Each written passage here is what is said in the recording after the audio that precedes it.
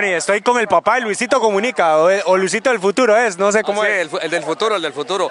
Yo vine del futuro, volví y le vine a dar consejos.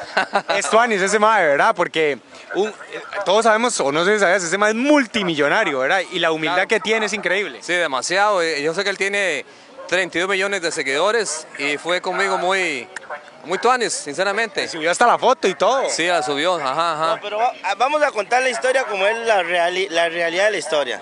Él no sabía quién era Luisito. No, no, yo sabía, claro, claro. Sí, sí, pero él no sabía. Y, y- y no con esto quiero decir que, que- que no, ¿verdad?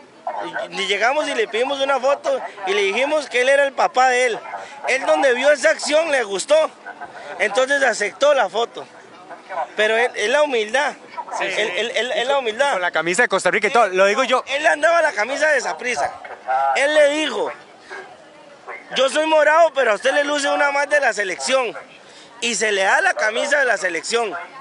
Y él acepta. En la historia él cuenta. Ajá. Entonces le pedimos una foto ey, y se le quedó viendo así y dice, este es mi papá.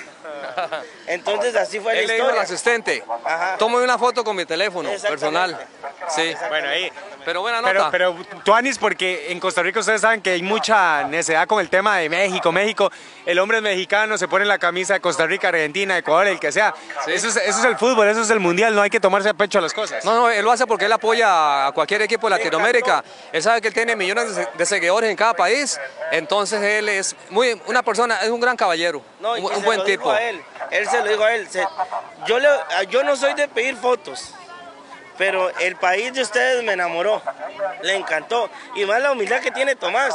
Tomás es de Tilarán, ¿verdad? Es más, cuidado, ya, ya casi se le suelta una bomba. No, yo soy guía de turismo también, entonces este, él, yo le hablamos de que a él le gusta mucho el turismo y todo eso y que, le encantó Costa Rica, los volcanes, todo eso y entonces todo pura vida.